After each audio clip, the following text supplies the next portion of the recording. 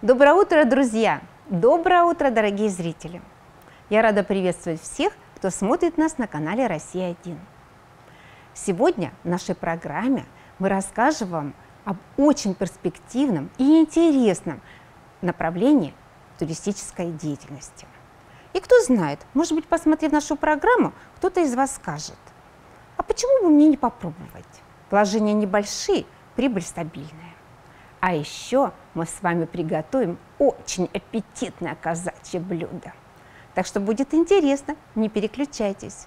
Продолжим после прогноза погоды.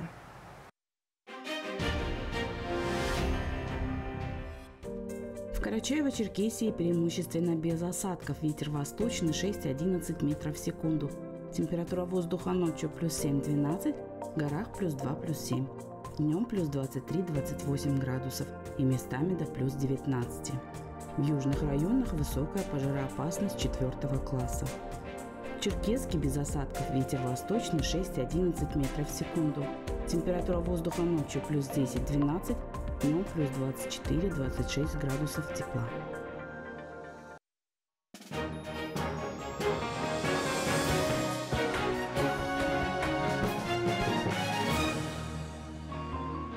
За последние 4 года внутренний туризм в России вырос на 50%.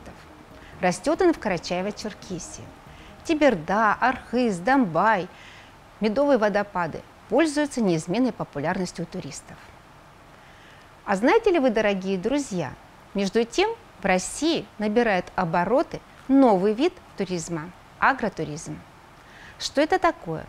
И есть ли его развитие перспективы в Карачаево-Черкесии, мы поговорим с нашим гостем, который с удовольствием представляем – начальник Центра компетенции и поддержки фермеров Центра «Мой бизнес» Карачаева-Черкесии Халимат Митяни.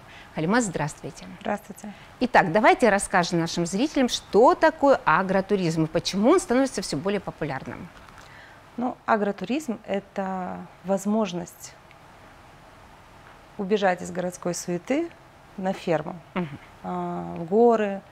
Можно приехать а, в сельскую местность и провести там время – провести время как и работая, так и отдыхая. Вот что такое агротуризм.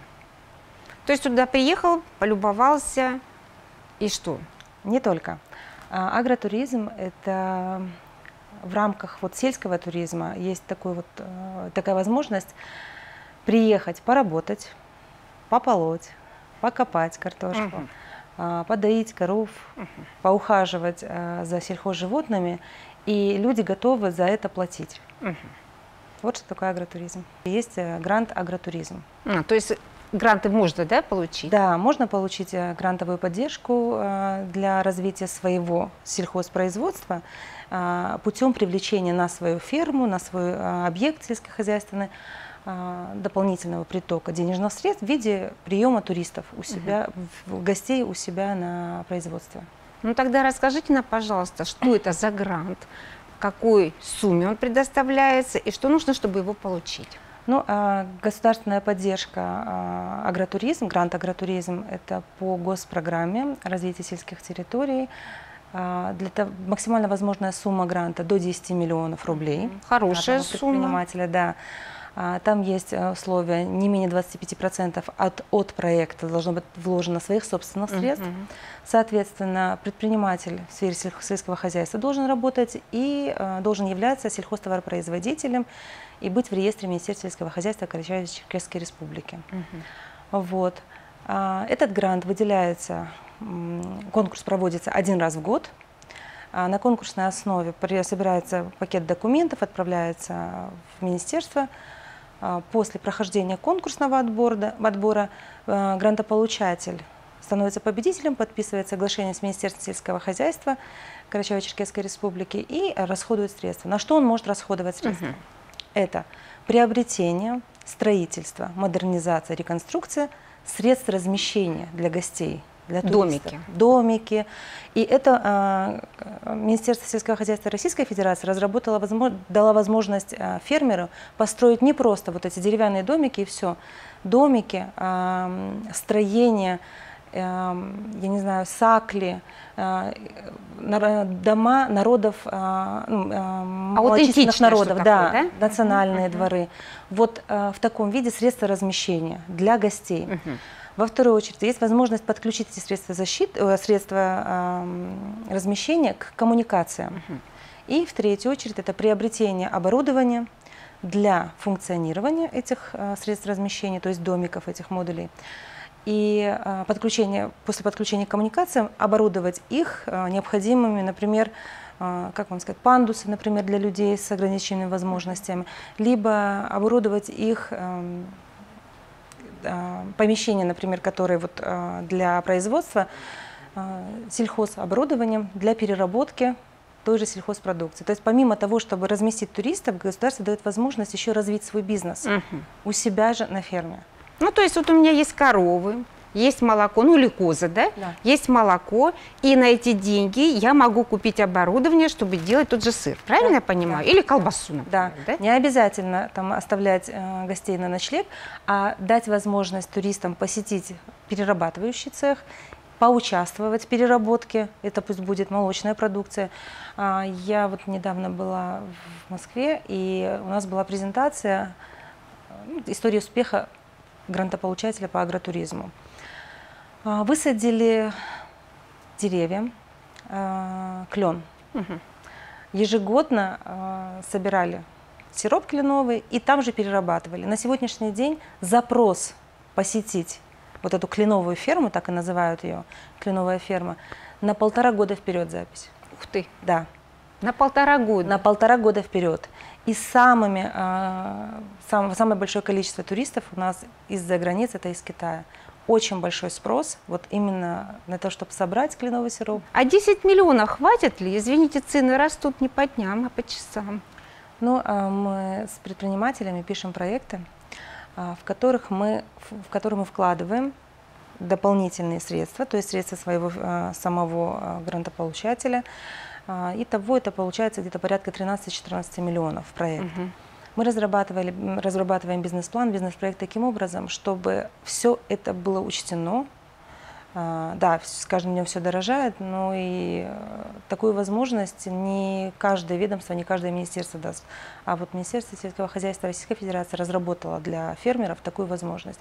А, Давайте мы начнем с малого, я каждый раз говорю фермеру. Мы поставим два-три домика, и уже после того, как получим определенную прибыль, определенный сюда а, отзыв об этой ферме, завтра мы можем доп- дополнительно получить средства у государства. Никто не запрещает. А, то есть есть такая Да, возможность. Ну вот это очень важно. Спасибо, Халимат, за ваш рассказ. Всего доброго, успехов в вашей работе. Спасибо вам большое за приглашение. Всего доброго. Ну что ж, друзья, мы продолжаем нашу программу. Вот и лето пролетело. Конечно, в этом году оно нас помучило. То бесконечными дождями, то этой жарой. Но тем не менее, очень скоро мы будем вспоминать его и вздыхать. А я предлагаю вам отправиться на берег реки и приготовить очень вкусное казачье блюдо. Это было в прошлом году. Мне есть о чем вспомнить. Сегодня мы будем готовить праздничное блюдо – жаркое из баранины с овощами. А готовить его будут казаки Баталпашинского городского казачьего отдела – три Александра. Знакомьтесь, это Григоров, командир второй сотни, отвечает за костер. Ишь, как ловко с дровами управляется, хотя живет в городе. С детства вообще-то нас как-то и старики к этому приучали. Родители, деды. Это как, как бы каждый казак может рубать. С самого детства учили? Ну да, с самого детства. Бывало такое, что и пальцы на ногах отрубали. Серьезно, Бывало, что. Ну, надеюсь, у вас все целое. Не, это все целое, оно же заживает. Самый большой – это Александр Максименко. Служил в спецназе ГРУ. С ним шутки плохи. Но это только на первый взгляд. Добрейшей души человек. Третий – Александр Пугачев, начальник штаба, правая рука атамана. Готовит – пальчики оближешь. Поэтому не только в штабе, но и на кухне он главный, шеф-повар. Ну вот, костер разгорелся, пора ставить котел. Только зачем его крышкой накрывать? Он же холодный, сейчас вот нагреется немножко. Ждем, пока котел нагреется и наливаем туда растительное масло. Через несколько минут выкладываем баранину и опять накрываем крышкой.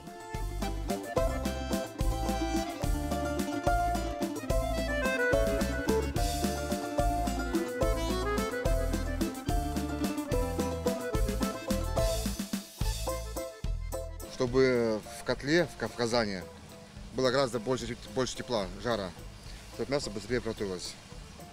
Ну, а мы пока с другим Александром займемся овощами. Чтобы приготовить казачье жаркое, нам понадобится лук, морковь, картофель, баклажаны, сладкий перец, помидоры, зелень и чеснок. Вы будете морковку крошить, а я лук, так и быть. Терпеть не могу я этот лук крошить. Ну и ножи, да уж, хорошие. Но дым этот ужасный, прям в глаза лезет. Александр, чего вы не плачете? Привычка с детства. Оказывается, в детстве Александр занимался туризмом, ходил на море через перевал, так что к дыму костра он привычный. А нам, городским жителям, что делать? Нет, ну это невозможно. Я вообще-то не казачка. Дым от костра глаза ест. Лук, ну это вообще невозможно. Александр, идите сами чистите свой лук. Вот вам луковиц, идите чистить. Не буду я его чистить. Тогда я вам сейчас открою маленький секрет для многих женщин. Как надо правильно лук чистить и резать. Сейчас скажет, что нужно нож в холодную воду окунать. Тоже мне секрет. Самое главное в этом деле корешки оставить. Гусик убираем и все. Весь сок, который жжет глаза, выходит именно с этого места. Ух ты. И что, не ест глаза? Не ест глаза, отлично режется, без слез. Такой вот казачий лайфхак. А кто это вас научил?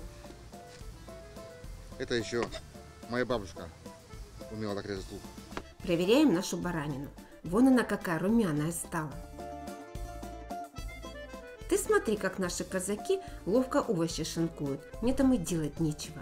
Интересно, где они так научились? Всю жизнь казаки, когда уезжали в степь, пахать, сеять, они уезжали в основном без женщин. Они брали продукты с собой и всегда сами готовили себе.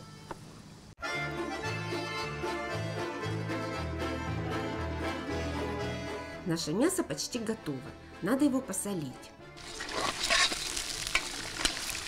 Румяный вид у него красивый должен быть. А пахнет как? Пахнет оно пахнет, но наш шеф-повар считает, что мясо должно еще немного потомиться. Сырое. Горячее сырое не бывает. Еще минут 15 максимум. Подкладываем дрова, чтобы увеличить жар. Ну и дым. Зато комары не кусают. Через несколько минут будем закладывать в казан наши овощи. Вон как наш шеф-повар ловко ножом орудует. Мы все овощи режем крупно, потому что это мясо, баранина, с овощами.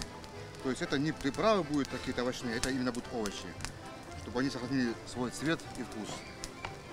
Это давняя казачья традиция – нарезать овощи крупными кусками, которая сохранилась по сей день. Зайдите в любой дом казакам, посмотрите, как они подают овощи к столу. Помидоры, огурцы, перец – все разрежут на две части и все. А вот и наша баранина. Боже, как она пахнет! По-моему, уже можно обедать. Ах да, еще же овощи. Закладываем в казан по очереди. Последним добавляем перчик чили.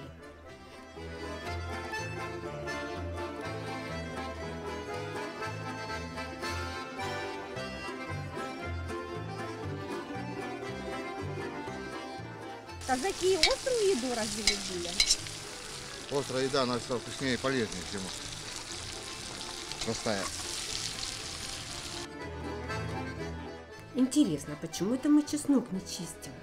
Чеснок в кожуре дает свой аромат и вкус. Ну что ж, он главный, ему виднее. Ну а мы с Александром маленьким займемся картошкой. Казаки своенравный народ вообще, вольный. Да. Это 14 год, э, война началась. Ну, у меня все предки в основном Краснодарский край, Отрадненский район. И вот э, приехали, собрали сотню и собрались с ними ехать э, ну, на войну. А получилось так, что в этот день один из казаков, ну молодые казаки там, женился. И его из-за стола, из-под венца, можно сказать. Ух ты, на службу. Да, и на службу. Ну, а молодая казачка вцепилась в повод и, ну как, ни брачной ночи не было ничего, и не отпускает. И уже, ну тогда ж мостов не было таких, они в Бруд переправлялись. И вот э, переправляется, она вцепилась. Ну, офицер взял и нагайкой ее стеганул. Атаман. Сотня, стоп! Хлопцы, возвертаемся назад. Все, почему? «Ха, мы домой, мы, говорит, на войну поедем. Биться за отечество. А офицерё будет, говорит, наших жунок нагайкой стегать. Не поедем на войну. Развернулись и поехали. Две недели собирали обратно сотню, чтобы их вернуть на войну, так сказать. То есть женщин обижать нельзя было. Конечно, это у казаков это самое главное правило. Отправляем нашу картошку в котел и ждем.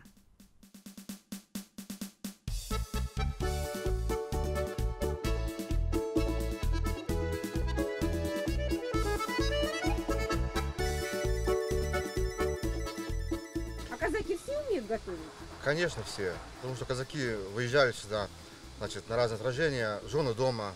А что делать? Казаки сами, значит, у костра, э, сами готовили себе разные блюда, каши варили, там, мясные блюда.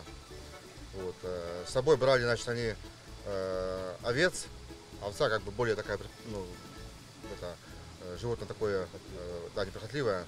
Вот. И в итоге овцу, значит, э, приносили в жертву, готовили ее на костре, там шашлыки жарили, варили разные блюда, там вот жаркое делали, как, как мы сейчас делаем. Вот так вот, В общем, что поймали, то и съели. да. Есть речка, значит есть рыба, есть поле, значит есть птица. А у казака кинжал с собой, что догнал, поймал, вот и пообедал. А поймать казаки могли все, что угодно. Знатными охотниками были.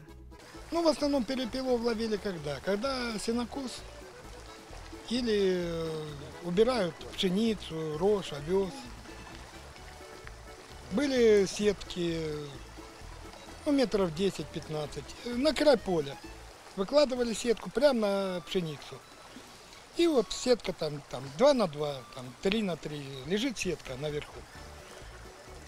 Ну, а в основном 18-20 ячейка. И вот сидят на краю поля, ну как, метрах пяти от э, края пшеницы. Сидят и так. Так перепелочка кричит. Перепел кричит. И вот сидят и так. Перепела в основном идут на звук. Вот они подходят к краю поля и остановились.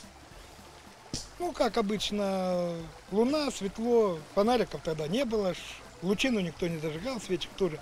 И вот видно, что они уже подошли и стоят. Они дальше на чисто не выходят, они только могут... э.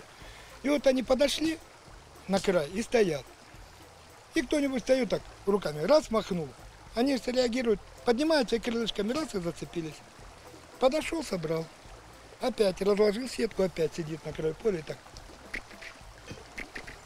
Ну, специально из кости делали манки, э, имитация крика перепелочки.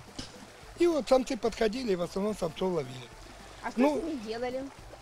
Что с ними делали? Домой приносили, жена поскубла, сварила, сжарила. Ну, в основном в чугунах тогда. Их разрезали по хребту, не по животу, а по хребту, расчиняли. Потом вот эти вот все там э, печеночку, желудок, э, гречку туда вареную добавляли с луком. Опять их закрывали, укладывали это самое. И э, так сказать, они томились в русской печи. И получалось Ну, очень вкусное блюдо, А вы пробовали? конечно. Конечно, пробовал, потому что кто б меня так этому научил? Везет же некоторым. Вот ведь как раньше жили. С перепелками, да сенокосом, да на свежем воздухе. Эх. Конечно, работали тогда от зари до зари. Зато росли сильными и здоровыми. Вот наши Александры, чем не русские богатыри. Наступает ответственный момент. Собираем наши блюда в одно целое. А потом хлопцы будут комментарии писать. Ну, Александр бы гурман.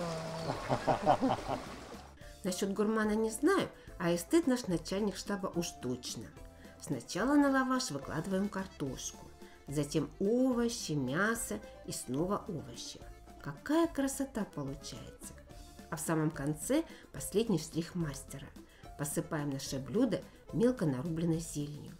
Боже, как оно пахнет! Хорошо, что нас немного. А вот и квас домашний. Рецепт как-нибудь расскажем.